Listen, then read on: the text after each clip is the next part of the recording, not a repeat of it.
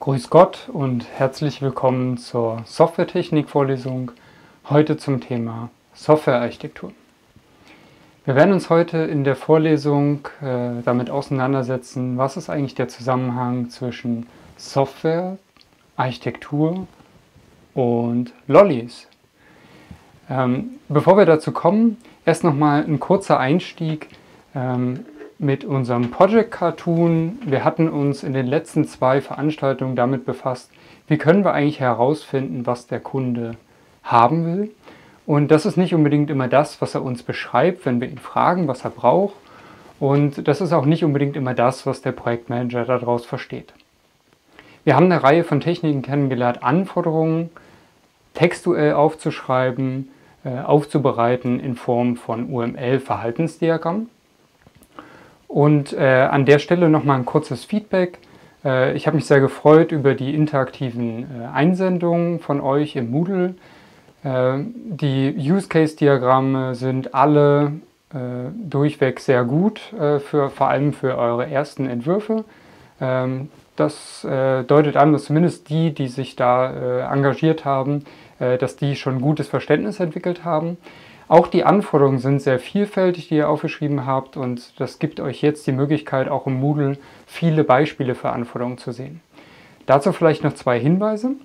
Das eine ist, wenn ihr Anforderungen aufschreibt in textueller Form, äh, ein bis zwei Sätze äh, typischerweise, das heißt ein Wort reicht nicht als Anforderung, ähm, dann ist es wichtig, dass diese Anforderungen später überprüfbar sind.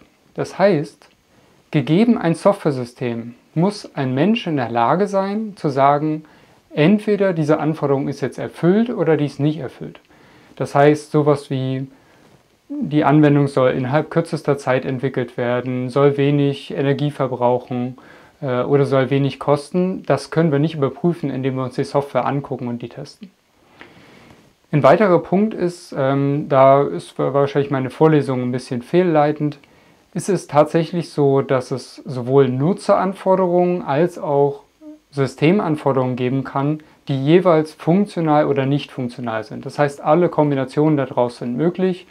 Und wenn ich euch äh, bitte, sozusagen eine Nutzer-, Systemanforderung, eine funktionale und eine nicht funktionale Anforderung aufzuschreiben, dann könntet ihr faul sein und nur zwei angeben.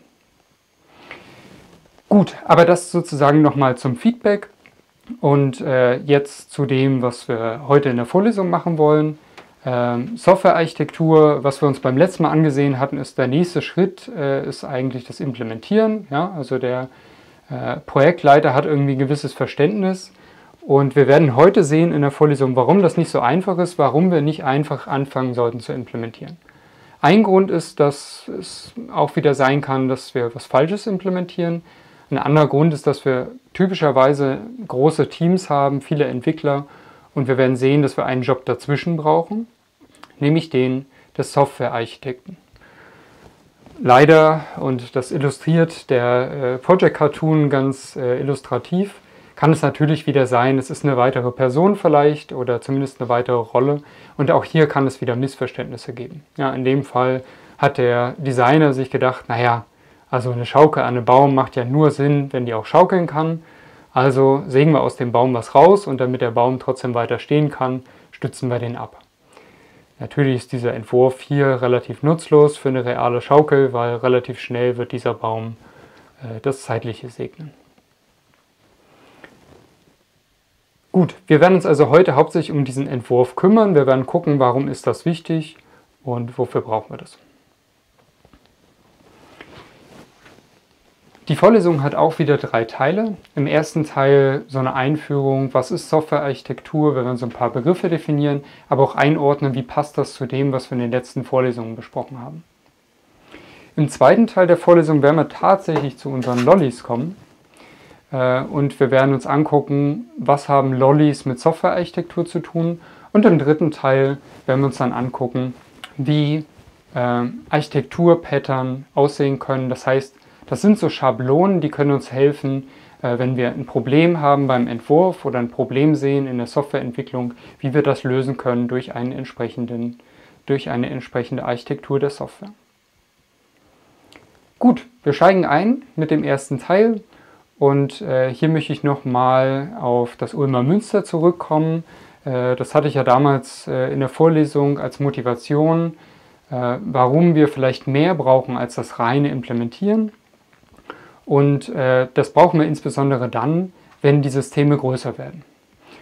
Und bei Gebäuden gibt es diesen Begriff Architektur oder Architektur verbinden wir typischerweise mit Gebäuden. Äh, warum? Äh, naja, von einem, von einem Gebäude ist das, was sozusagen am meisten heraussticht, eben die Architektur. Das heißt, die grobe Struktur dieses Gebäudes. Und das ist was, was durchaus viel äh, von zeitlicher Epoche abhängt, aber auch vom Land oder Kulturen und deswegen relativ äh, reizvoll ist und interessant anzusehen. Wenn wir uns jetzt äh, das Ulmer Münster angucken, warum ist die Architektur so entscheidend? Ja, das eine ist, die Architektur erfüllt nicht nur den Zweck, dass es irgendwie schick aussieht, sondern vor allem auch den Zweck, dass es robust ist, dass das Ganze eben über Jahrhunderte äh, so ein Gebäude auch Bestand haben kann. Und während wir einzelne Steine von diesem Gebäude äh, austauschen müssen über die Zeit, was wir nicht ändern können oder nur sehr schwer ändern können oder nur in sehr kleinen Schritten, ist die Architektur von einem Gebäude. Ja, also wir können jetzt nicht sagen, ähm, ja, wir äh, äh, wählen jetzt eine völlig andere Architektur von dem, von dem unteren Teil, weil dazu müssten wir irgendwie das obere erst abreißen, um da weiter was aufzubauen. Und diese zwei Punkte sind tatsächlich auch wichtig für die Software. Wir brauchen ein solides Fundament, und wir können schwer die Software später oder die Architektur von einer Software später ändern. Und deswegen müssen wir uns davor gut Gedanken drum machen. Was motiviert jetzt eigentlich die Architektur? Wo kommen wir jetzt her? Wir haben uns vorher in den letzten zwei Vorlesungen damit beschäftigt, Anforderungen aufzunehmen, Systeme zu modellieren.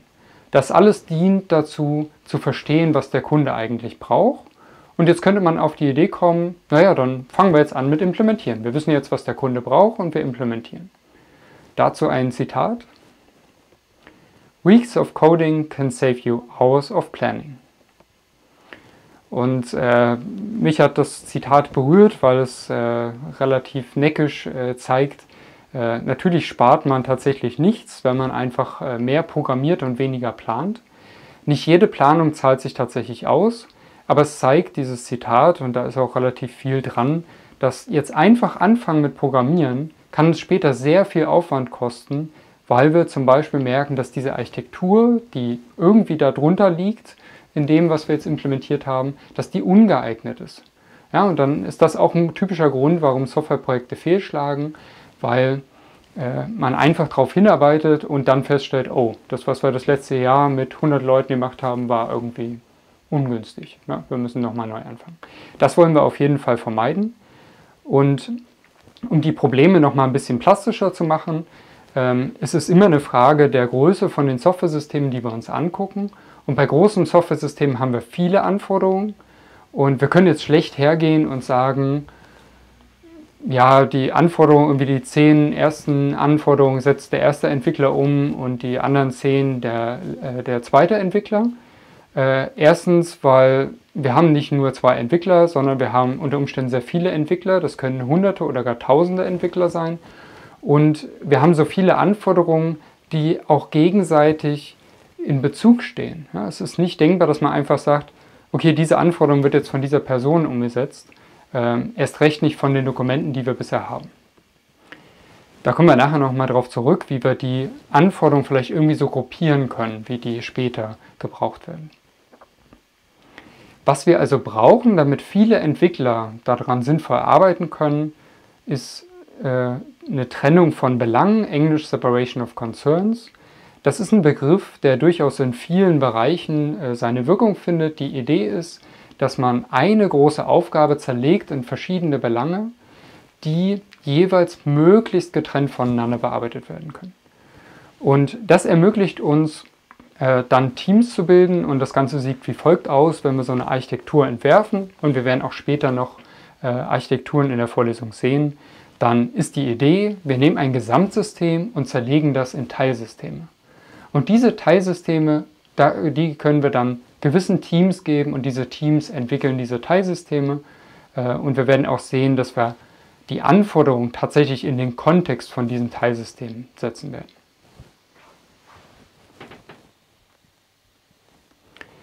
Und basierend auf dieser Zerlegung des, Teils, äh, des Gesamtsystems in Teilsysteme kann man dann starten mit der Implementierung.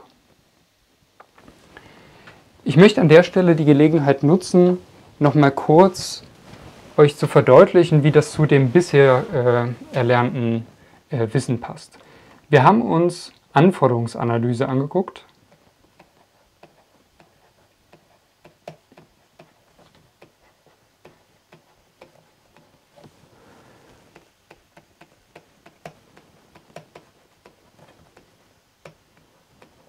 Und darin die grundlegende Phase der Anforderungsermittlung, Englisch Requirements Elicitation. Die Anforderungsermittlung war sozusagen der erste Schritt, das haben wir zwei, vor zwei Vorlesungen besprochen. Und die nachfolgende Phase war die Systemmodellierung.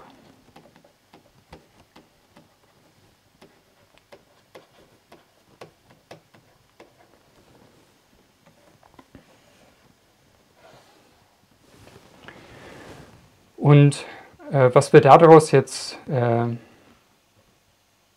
also was, was ist jetzt aus diesen Schritten sozusagen herausgefallen oder wie hängen diese zwei Phasen zusammen? Naja, wir haben Dokumente, die entstehen bei der Anforderungsanalyse und die werden genutzt für die Systemmodellierung. Und zwar ist das die Anforderungsspezifikation. Requirements Specification, kürze ich jetzt hier ab.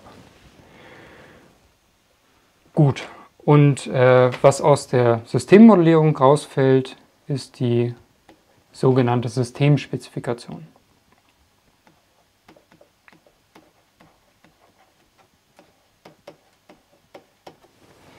Diese beiden Phasen zusammen nennt man auch Analyse.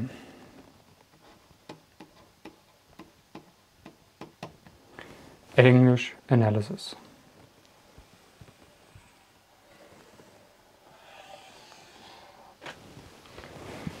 Äh, ich glaube, hier gehe ich nochmal zurück.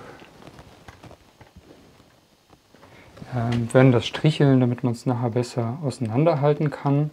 Äh, tatsächlich ist das äh, für euch ein bisschen zur Einordnung. Wir werden auch in, in späteren Vorlesungen immer mal wieder Begriffe nutzen. Uns wichtig, dass ihr ein grobes Verständnis habt, wie diese einzelnen Phasen eigentlich zusammenhängen und zusammenspielen. Gut, und äh, neben dem, äh, oder was machen wir jetzt mit der Systemspezifikation? Naja, die Systemspezifikation ist tatsächlich auch wieder Eingabe. Und zwar für das, was wir heute betrachten, nämlich die, ähm, Architekt, der Architekturentwurf.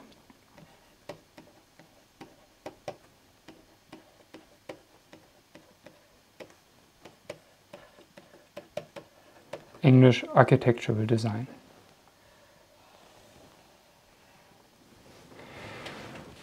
Und wir werden sehen, dass auch da wieder was rausfällt, und zwar die Architekturspezifikation.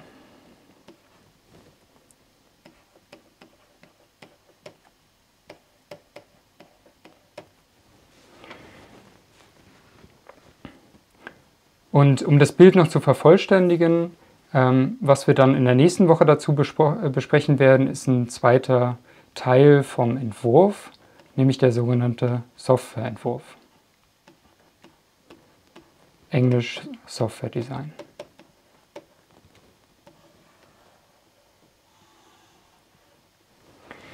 Und diese zwei Phasen, und das ist der Grund, warum ich das hier auch äh, jetzt so zeigen möchte, so konkret, ist, dass diese zwei Phasen zusammen den Entwurf ausmachen. Das heißt, wir werden uns heute in der Vorlesung angucken, wie der Grobentwurf aussieht. So würde man das im Deutschen jetzt übersetzen. Ja, Architekturentwurf oder Grobentwurf. Und der Feinentwurf, eben der äh, im Deutschen eher der Begriff für den Begriff Software Design.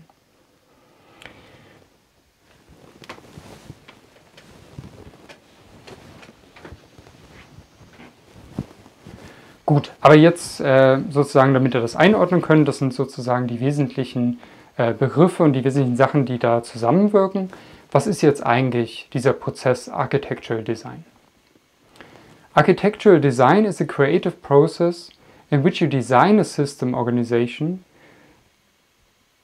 that will satisfy the functional and non-functional requirements of a system. Also, Architekturentwurf ist tatsächlich ein Prozess, ist, ist ein kreativer Prozess, bei dem wir eben nach kreativen Lösungen suchen, wie wir diese funktionalen und nicht funktionalen Eigenschaften umsetzen können und wie sozusagen das System allgemein organisiert sein soll. Was daraus resultiert, ist dann äh, die Systemarchitektur oder eben äh, die Soft oder Softwarearchitektur.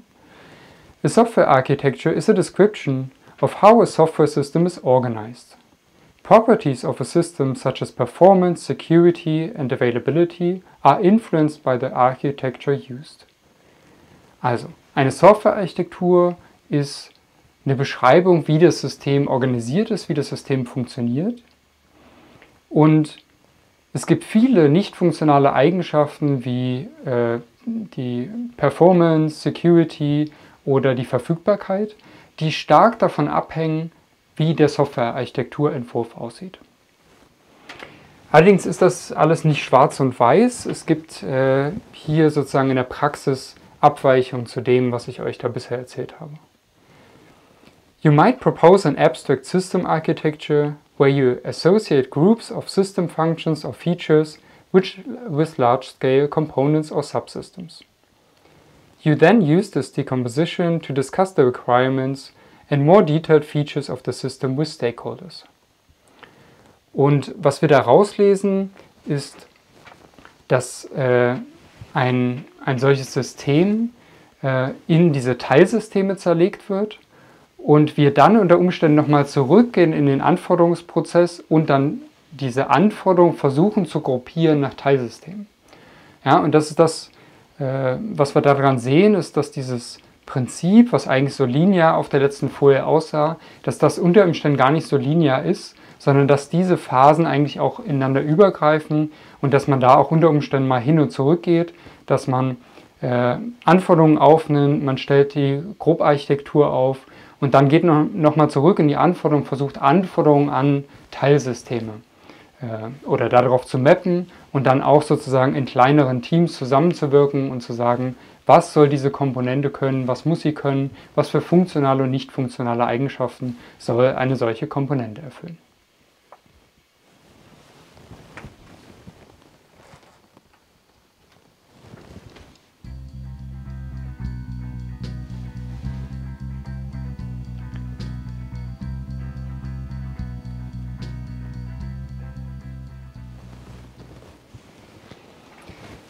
Ja, das ist äh, ein Blick auf eine Architektur, äh, auch wieder als Karikatur, als XKCD-Comic. Äh, und zwar ja, ist es schon so, dass wir viel digitale Infrastruktur inzwischen haben und dass es viele kleinere oder größere Projekte gibt, was dieses Bild schön äh, veranschaulicht und dass diese gewissermaßen aufeinander aufbauen. Dass ein Softwareprojekt ein anderes Softwareprojekt braucht, dass äh, dass wir sozusagen eine gewisse Architektur sich daraus ergibt, dass wir andere Sachen nutzen und auf denen aufbauen. Und was da unter Umständen passieren kann, ist, dass da teilweise kleinere Open-Source-Projekte plötzlich eine sehr wichtige Rolle bekommen, weil sie einfach an ganz vielen Stellen verwendet werden. Und äh, ob äh, dieser Open-Source-Programmierer jetzt in Nebraska sitzt oder irgendwo anders, tatsächlich ist das, was wo wir auch bei der Software-Architektur an der Stelle eine gewisse Verantwortung haben, wenn wir sagen, wir nutzen und wollen explizit ein, eine Komponente wiederverwenden, die es schon gibt, ist das prinzipiell gut, weil es spart uns Aufwand. Aber es sollte natürlich nicht, äh, wie diese äh, Abbildung hier suggeriert, passieren können, dass wenn das jetzt äh, nicht mehr verfügbar ist, dass dann alles in sich zusammenbricht. Welche Ziele hat die Softwarearchitektur? Softwarearchitektur hat im Wesentlichen drei Ziele. Und man kann sich noch mehr Ziele ausmachen, aber die haben dann immer wieder was mit diesen drei grundlegenden Zielen zu tun. Eins habe ich eben schon angesprochen und das ist, äh, wir wollen Wiederverwendung ermöglichen. Englisch Reuse. Was heißt das? Naja, es ist relativ unwirtschaftlich, jedes Mal von vorn alles neu zu entwickeln. Das heißt, wenn wir ein System, ein neues System entwickeln wollen, dann ist es sinnvoll, darüber nachzudenken, in welche Teile können wir das zerlegen und welche Teile gibt es vielleicht schon, die können wir einfach wiederverwenden. Es geht auch darum, kritische Anforderungen zu erfüllen. Ja, gerade nicht funktionale Eigenschaften haben eine sehr, äh, sehr entscheidende Rolle für die Softwarearchitektur, weil vielleicht eine bestimmte Architektur, und das ist noch egal, wie wir da drin jetzt implementieren und wie viel Mühe wir uns da geben, kann es sein, dass eine bestimmte Architektur uns nicht zum Ziel führt. Also ein verteiltes System hat immer einen gewissen Delay darüber, dass Anfragen übers Internet und Daten übers Internet gesendet werden müssen und ist dadurch immer, muss vorsichtig sein, ist dadurch tendenziell erstmal langsamer. Und äh, jetzt kommt es immer darauf an, was man für Anforderungen hat. Es kann auch Security-Anforderungen geben. Wenn ich ein Atomkraftwerk äh, äh, dafür die Software designe, dann möchte ich vielleicht gar nicht, dass irgendwelche Komponenten außerhalb dieses Atomkraftwerks liegen oder dass es überhaupt keinen Zugang äh, aus dem Internet darauf gibt. Der wichtigste Punkt von Softwarearchitektur ist allerdings aus meiner Sicht, ähm, dass die Kommunikation zwischen verschiedenen Akteuren in der Softwareentwicklung denn diese Architektur gibt uns eine Möglichkeit, darüber zu reden. Und auch gerade im letzten Teil der Vorlesung werden wir uns einige Architekturmuster angucken, die uns helfen zu verstehen, mit relativ kurzen, prägnanten äh, Worten zu verstehen, wie eine Architektur im groben aussieht. Somerville unterscheidet äh, vier Sichten in der Softwarearchitektur. Er könnte auch ein Buch äh, dazu noch mal mehr nachlesen. Ich möchte bloß ganz kurz darauf eingehen. Äh, diese Sichten werden jetzt nicht so viel eine Rolle spielen bei uns, aber ich möchte, dass ihr sie auf jeden Fall schon mal gehört habt. Es gibt die logische Sicht. Das ist eher eine Sicht, wo wir relativ nah noch dran sind an den Anforderungen und äh, aus, aus Sicht des äh, Nutzers äh, bestimmte Eigenschaften des Systems beschreiben. Dann haben wir die physische Sicht. Da stellt sich eben die Frage, welche Teile der Software sollen eigentlich nachher auf welchen Rechnerknoten laufen. Ja, das heißt, wenn ich eine App designe, dann ist halt die Frage, welche Berechnungen laufen wirklich auf der App und welche vielleicht irgendwo auf einem Server. Und wenn ich mehrere Apps habe, die irgendwie oder mehrere Geräte habe, dann ist auch die Frage, welche Berechnung läuft eben auf welchem Gerät. Dann gibt es die Development View und das ist wahrscheinlich die wichtigste Sicht, äh, auch heute aus Sicht der Vorlesung. Da geht es eben darum, wir haben viele Entwickler, wir müssen die irgendwie in Teams aufteilen und diese Teams müssen möglichst unabhängig voneinander arbeiten können. Die werden nicht vollkommen unabhängig arbeiten können, aber die sollen wenigstens so ein, zwei Wochen arbeiten können, ohne dass sie im ständigen Austausch mit anderen Teams stehen müssen. Und dann gibt es noch die äh, Prozesssicht und das ist sozusagen eher das Verhalten, das äh, wie wird etwas gemacht, was sind die Schritte und dafür haben wir in, den, in der letzten Vorlesung schon Diagramme kennengelernt. Das Ganze könnt ihr hier auch nochmal nachlesen. Ähm, das ist ein wirkliches Zitat aus dem Buch von Somerville. Und ich möchte jetzt den ersten Teil abschließen mit einem, äh, wie ich finde, sehr interessanten Gesetzmäßigkeit, und zwar dem Conwayschen Gesetz. Äh, Melvin Conway ähm, hat 1967 äh, Folgendes geschrieben, 1968 wurde es veröffentlicht. Any organization that designs a system will produce a design whose structure is a copy of the organization's communication structure. Das ist eine sehr wichtige Gesetzmäßigkeit, nicht nur für Softwareentwicklung, sondern in immer mehr Bereichen wird erkannt, dass das äh, Conwaysche Gesetz äh, eine enorme Bedeutung für uns hat.